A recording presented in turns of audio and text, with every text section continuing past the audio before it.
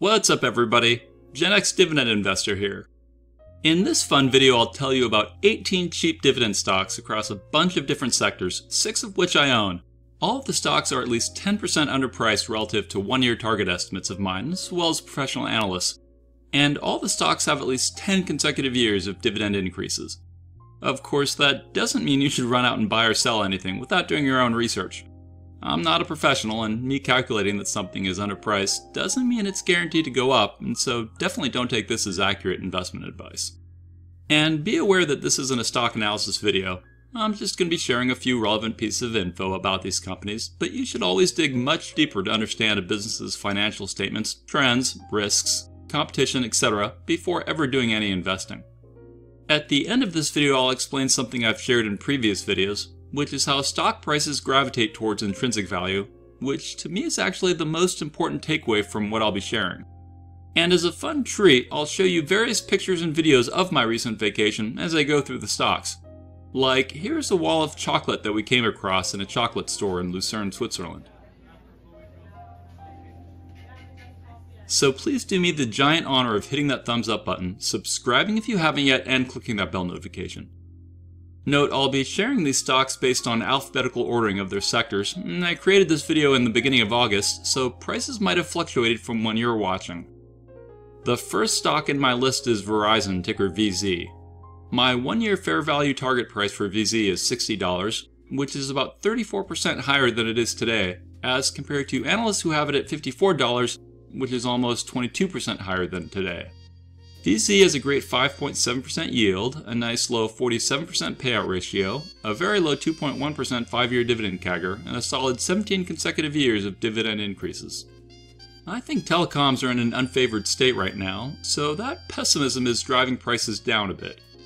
A key concern people have about Verizon is its debt, which is actually now slightly more than AT&T's debt. On VZ's website, we see that their total debt is at a prolific $157 billion, AT&T's debt is also very high at a total debt of 136 billion. That is high, but it is way better than what AT&T was at before their recent WBD spinoff, which they were at 208 billion in debt. Yikes. Now, if I was someone who was focused on growing my portfolio size, then I wouldn't be looking at the telecom space, even though I think it's underpriced. But if cash flow was a key need I had, then I think VZ becomes more compelling.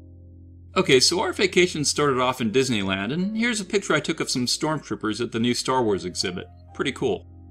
Moving on, the next stock on the list is Walgreens Boots Alliance, ticker WBA. My one year fair value target price for WBA is $50, which is about 27% higher than it is today, as compared to analysts who have it at $45, which is about 14% higher than today. WBA has a nice 4.92% yield, a 35% payout ratio, an OK 5% 5 year dividend CAGR, and are a dividend aristocrat. Nice. WBA has a good amount of debt to be aware of, and another concern I have is that e commerce pharmacies hurt them to some degree. Like Amazon has a new online pharmacy that I've been using, and it's awesome, and Mark Cuban recently opened up his own online pharmaceutical store called Cost Plus Drugs. Plus, if Amazon starts building brick and mortar pharmacies, as has been rumored, it will further hurt companies like WBA. But I still go to Walgreens for some stuff, and if they had some same day doctor services, then that would make them even more compelling. Okay, let's move on. Here's a quick video I took of a water show at D-Land called World of Color, which reflects light off water that is shot up in the air. Really amazing stuff. Did everyone see that? Because I will not be doing it again.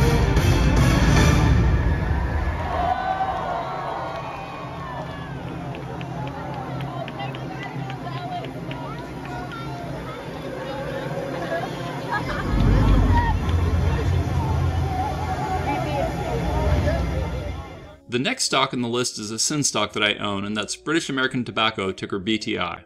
I highlighted all the stocks in green that I own.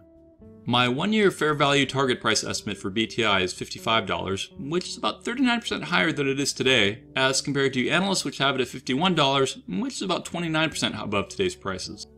BTI has a very high 7.54% yield, a 65% payout ratio, a decent 5.6% five year dividend CAGR, and 22 consecutive years of dividend increases. Since stocks like this face tons of headwinds from more health conscious populations to risk of regulations impacting their earnings. BTI is trying to evolve by offering more combustible free products. They face some geopolitical risks from the current Russian Ukraine war, though that's a relatively small impact to their total revenue. Some big funds have dropped sin stocks lately, so that's another risk to be aware of. I like the income BTI provides me, and I think it'll be able to do that for my life, but I'm not really in it for the long term price appreciation. Also, a big thing to be aware of is that due to currency conversions, the dividend can fluctuate up or down. Okay, let's move on, kind of like we did on our vacation when we left Disneyland and went to France, and specifically Paris. Here's a picture I took on my iPhone of the Eiffel Tower as we walked towards it. Okay, the next stock on the list is Tyson Foods, ticker TSN. My one year fair value target price estimate for TSN is $105, which is about 29% higher than it is today, as compared to analysts who have it at $99.50, which is about 22% above today's prices. TSN has a relatively low 2.1% yield, a very nice and low 18% payout ratio, a great 17.2% five year dividend CAGR, and an okay 10 consecutive years of dividend increases. Tyson owns some classic meat products, and they have a small presence in plant based meats with their Raised and Rooted brand. My daughter recently told us that she's a pescatarian, and I had no idea what that was. Apparently, it's a vegetarian that eats seafood. So, we've started trying some of those fake meat products, and they're okay, but not as good as the real thing. And here's a picture I took outside the famous Louvre Museum in Paris. You might remember this picture from the Da Vinci Code movie with Tom Hanks. Great movie. Okay, the next stock in the list is Enterprise Product Partners, ticker EPD, in the energy sector, and is an American midstream natural gas and crude oil pipeline company, and is a master limited partnership, aka MLP. MLPs are their own business entity type that you should dig into, kind of like REITs are their own beast. MLP's business model is about using most of their cash flow to distribute decent payouts to investors. They fund growth through external debt and equity issuances, Generally speaking, MLPs don't owe any income taxes and pay out almost all of the cash flow in the form of distributions, which is their version of dividends, and one nice thing about them is that their yields are often higher. They also have some tax complexity to be aware of, as you get a K1 form rather than a 1099. Instead of you being called a shareholder, you are called a unit holder. MLPs may incur unrelated business taxable income, aka UBTI, that could be taxable even within a retirement account, so consult a tax professional to learn more. I personally would just hold them in taxable accounts. Anyways, even if you receive no cash distributions, your taxable income will include your share of the MLP's taxable income. You need to track your tax basis carefully with MLPs, as your basis is decreased by the amount of cash distributions you receive, which are classified as return of capital, and is increased by your share of MLP's taxable income or decreased by your share of the MLP's losses. This is kind of like a tax deferred distribution in the sense that you don't pay full tax on your distributions until you sell your shares and realize a gain. So the ROC portion of a distribution, rather than be taxed right away, instead decreases your cost basis, potentially all the way to zero. At that point, the distributions are taxed as long term capital gains, just like qualified dividends. When you sell an MLP, then the government will recoup those deferred taxes because your capital gain will be larger by the amount of your cumulative ROC. Anyways, many of the energy companies out there are currently hot due to the bull energy cycle we've been in, and some people will think that, that will remain the case for years to come. No one knows. If you are a bull, then investing in energy companies may make more sense. If you think we're at a peak, then you'd probably be avoiding any energy companies. My one year fair value target price estimate for EPD is $35, which is about 35% higher than it is today, as compared to analysts who have it at $29.56, which is about 14% above today's prices. EPD is an awesome 7.39% yield, but we don't use payout ratio for them, kind of like for REITs we don't, and they have a low 2.4% five year distribution CAGR, and an awesome 22 consecutive years of distribution increases. For MLPs, a metric's kind of similar to payout ratio you can use is the distribution coverage ratio, which is basically a measure of how much money an MLP has left over after paying their distributions. A distribution coverage ratio of 1 means that the MLP paid out all the money it had for distributions. A 2.0 coverage ratio means that the MLP paid out about half the money it had available for distributions. And instead of PE, you might want to look at price over distributable cash flow. You can pull a lot of those metrics in their presentations, and since I'm trying to keep this short, I'll leave that exercise to you, if EPD seems interesting. Speaking of interesting, here's a picture in the hallway of the Louvre. Look at how exquisite and ornate it is. Wow. Moving on, I grouped these next two stocks together, both of which I own, and they are Chevron and ExxonMobil.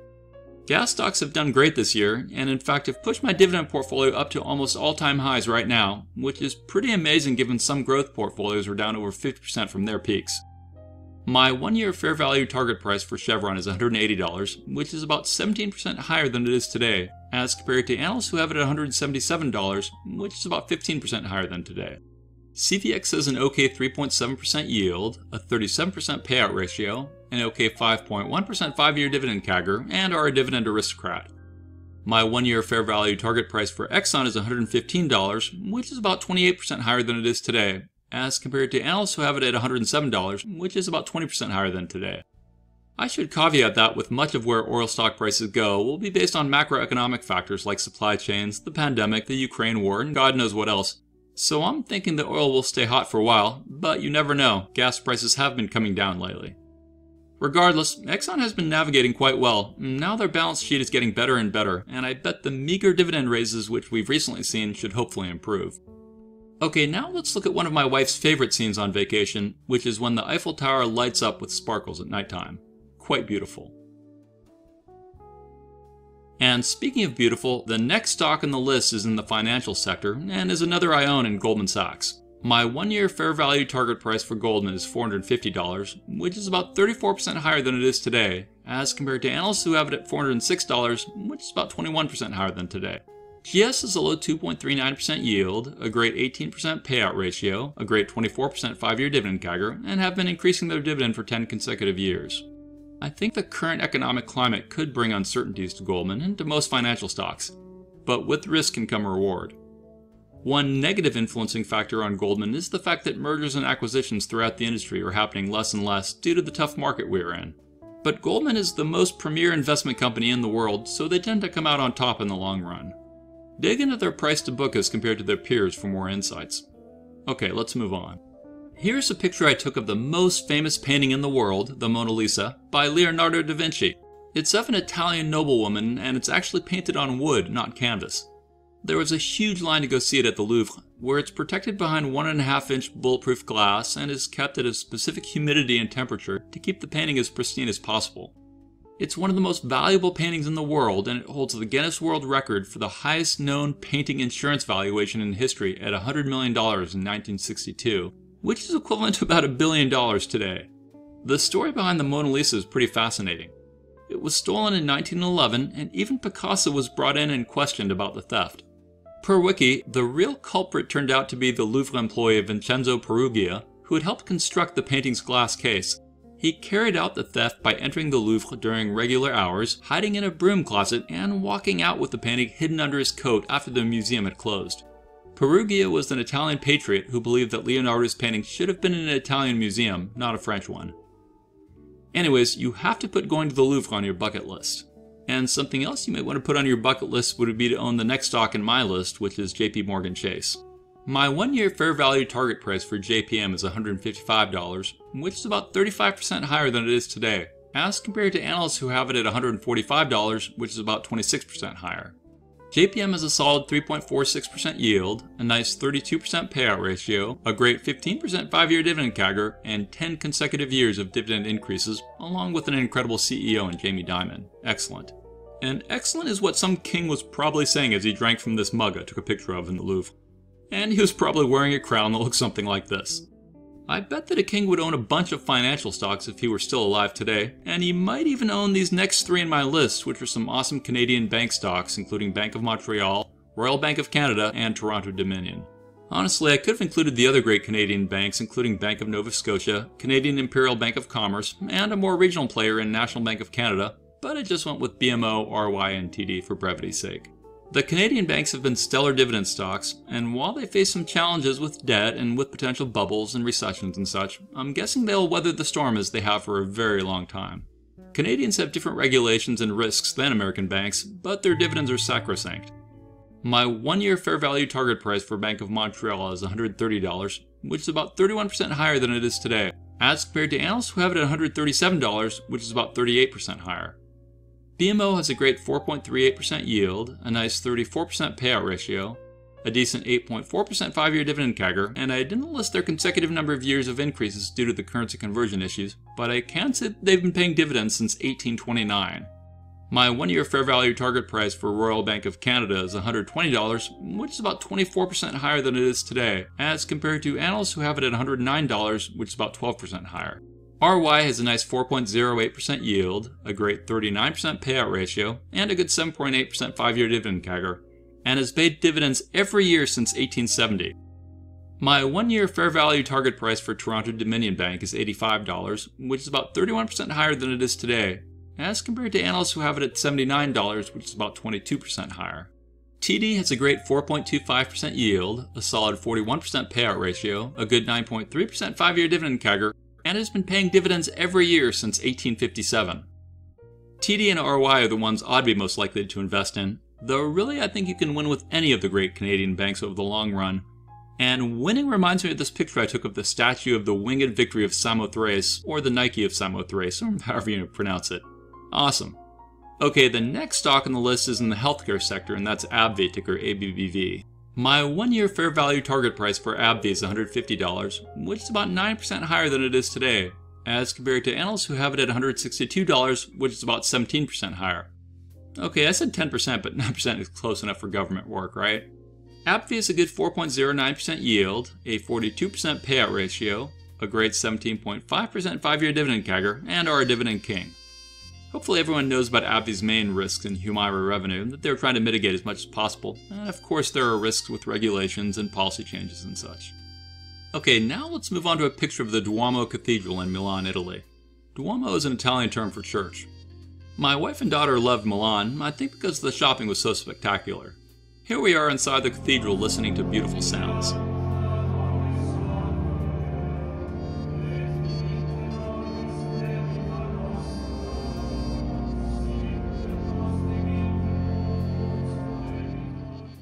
And here's a picture outside of the cathedral.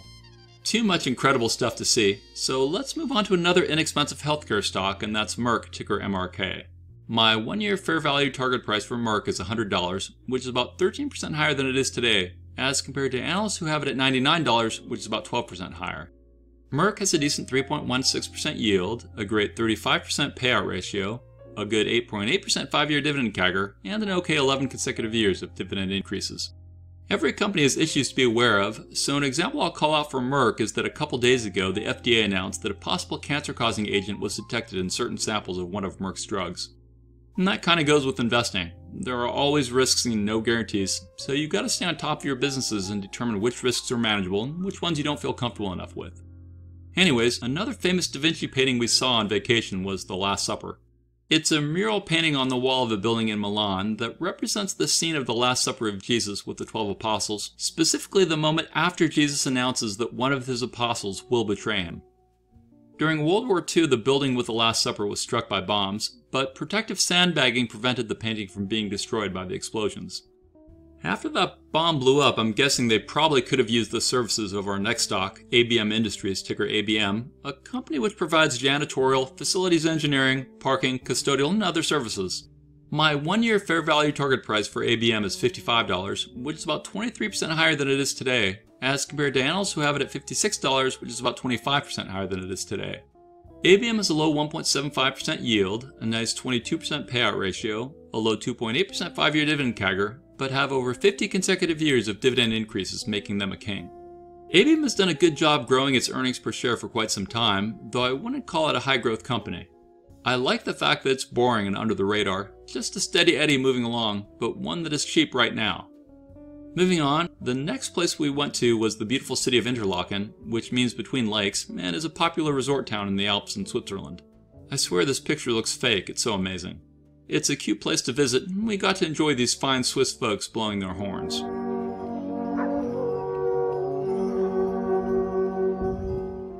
There are tons of incredible lakes and rivers in Switzerland, and a company that knows a thing or two about water is Pentair, which provides various water solutions as well as designs, manufactures, and sells pool equipment and such. Pentair has rebounded well from their pandemic lows, but still has a variety of areas of concern, such as their debt and rising costs, but I'll leave those details for you to research. My one year fair value target price for PNR is $55, which is about 9% higher than it is today, as compared to analysts who have it at $65, which is about 29% higher than it is today. PNR has a low 1.71% yield, a nice 23% payout ratio, but I didn't list their 5 year dividend CAGR and number of years of dividend increases due to a spin off they recently had, though they're still counted as an aristocrat. Okay, and then from Interlaken we went to Lucerne, another city in Switzerland. One thing I saw a lot of in Europe was smoking, which leads to the next stock on the list and one I own in Altria ticker MO. My one year fair value target price for MO is $55, which is about 24% higher than it is today, as compared to analysts who have it at $48, which is about 8% higher than it is today. I actually estimate the price is worth more than that, but I'm trying to be conservative given everything going on. MO has a nice high 8.16% yield, a high 77% payout ratio, which is in line with what their management drives to. They have a nice 5 year dividend CAGR of 8.1%, and in fact, they should be announcing a hike in their dividend on the 25th of August, though I'm betting it'll be lower than their normal dividend increases. And finally, they're a prestigious dividend king. Smoking stocks have tons of risks you are no doubt aware of. Okay, now let's leave Switzerland by listening to the church bells in Zurich.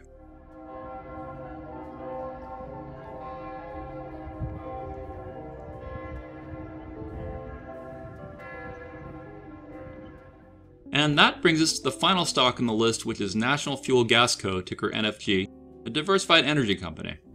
My one year fair value target price for NFG is $80, which is about 13% higher than it is today, as compared to analysts who have it at $78, which is about 10% higher than it is today. NFG has a nice low 2.67% yield, a nice low 33% payout ratio, a low 5 year dividend CAGR of 2.5%, and are a dividend king. With crude oil prices at an eight year high, National Fuel Gas sold its California oil drilling business to focus on its natural gas production operations closer to home in Pennsylvania. NFG is a conservative play, so if that appeals to you, then start doing your due diligence and dig into its details. Okay, now before I jump into my spiel on intrinsic values, it's important you understand that one year price estimates can change as new information comes out. Anyways, let's talk about intrinsic values. Here's a picture I made to show you how stock prices and intrinsic values usually work. I'll explain the pick in a moment, but it's important to understand there are lots of ways to value a stock, and one of the good ones that you can usually use for dividend companies are discounted cash flows, aka DCFs. There are multiple videos on YouTube about discounted cash flows and calculating intrinsic values of companies if you feel so inclined. DCFs have some weaknesses, one of which is the fact that your results can vary dramatically depending on which input parameters you use, some of which can be subjective. So don't become overconfident in your estimates. And don't forget to look at relative valuations of competitors.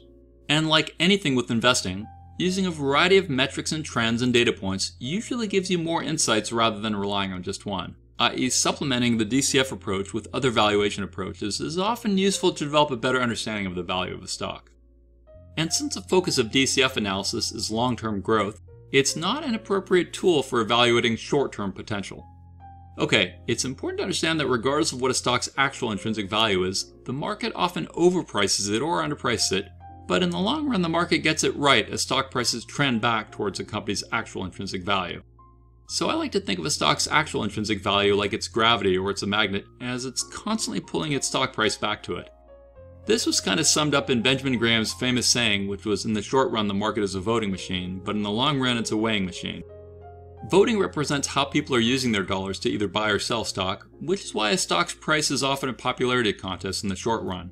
However, in the long run, the stock price trends towards its intrinsic value, which is analogous to saying that market forces slowly, but properly, price a stock, i.e., its real value is properly weighed and thus priced by the market. In the short term, the gravity of intrinsic value can lose out to the more powerful forces like news headlines and world events and Reddit warriors. The market often overreacts to good news or bad news, which value investors can then capitalize on. What I mean is that people often buy or sell based on emotion rather than on business fundamentals, which is why stock prices can do seemingly crazy things in the short term.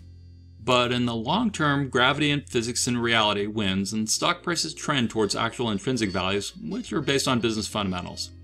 That concept is super critical to understand if you want to be a good investor. It helps explain why certain things can be overpriced or underpriced for years, as stocks are popular or unpopular for years. But eventually, business fundamentals win. If good growth comes, eventually the stock will respond. It can take a long time for people to forget about hated stocks or beloved stocks, but eventually they do if the company performs or doesn't perform. That's why you can see a crappy stock shoot up for a while, or a solid company trade in the dirt for a while. Your goal is to be able to identify when quality companies are cheap, and then buy if it makes sense to you. Or perhaps sell if things are too expensive. It all depends on you. Another gravity example I like is that dividend income is like the fuel or the thrust of your personal rocket, a rocket which is trying to break free from the gravity of your expenses. Once you have enough fuel and thrust, aka dividend income, to break free from the gravitational forces of your expenses, then you blast away from your old life on Earth and you can fly away faster and faster into space with the freedom of your time. Okay, now back to the picture. The blue line is the intrinsic value, i.e. my target price, i.e. it's a magnet or its gravity which is trying to pull the black line, which is stock prices, towards it. In this example, you can see an intrinsic value estimation that goes up and down as time goes on, and is slowly trending up like most quality companies tend to do over long periods of time. The black line, aka stock's price, tends to fluctuate wildly based on short-term news and headlines. The ideal time to buy a stock is when it's underpriced, which is represented as areas of red where the stock price fluctuates under its intrinsic value price. Now, if your strategy is to buy and hold for generations, then buying at any stock price can work out. It's just that your returns will be less than if you buy when something is on sale, and it can take materially longer to get a good return if you just invest whenever. Similarly, the best time to sell is when it's overpriced, which is any period on this graph along the areas of green, because those are all times when the stock price is higher than the intrinsic value. This example chart could represent 20 years or whatever of stock prices, so you need to understand that something could be underpriced for years or overpriced for years, but stocks eventually tend to drive towards real intrinsic values, which you can calculate with discounted cash flow calculations and sometimes by analyzing price to earning trends. Of course, a low PE ratio doesn't automatically mean a stock is undervalued, and a high PE ratio doesn't necessarily mean a company is overvalued. But a 15 PE is often a reasonable valuation for most, but not all companies. So as earnings go up, then stock prices tend to go up, broadly speaking. A conclusion you should draw from this picture is that the difference between a stock's current price and its estimated intrinsic value becomes your investing opportunity, assuming you believe the intrinsic value is a good estimation, and those who do invest like that are known as value investors, since they are transacting based on some form of fundamental business analysis, which attempts to calculate a stock's intrinsic or book value.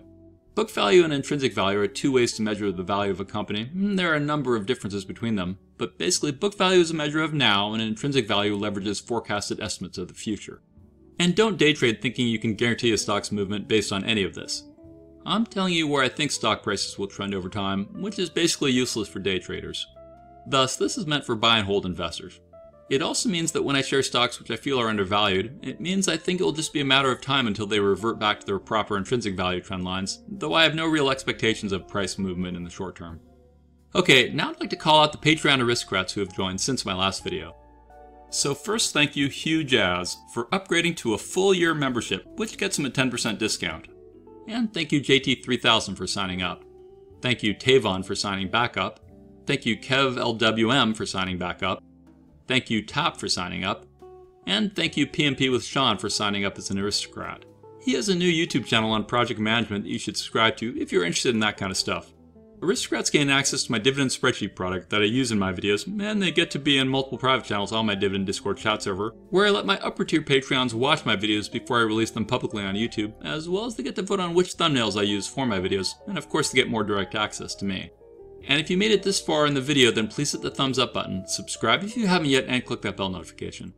Finally, I highly recommend that you join my free Dividend Discord chat server, which has thousands of investors on it and is growing all the time. Thanks for watching, stay positive, and I'll talk to you again real soon. I am not a financial advisor, and these videos are for entertainment, inspiration, and educational purposes only. Investing of any kind involves risk. I am only sharing my opinion with no guarantee of gains or losses on investments.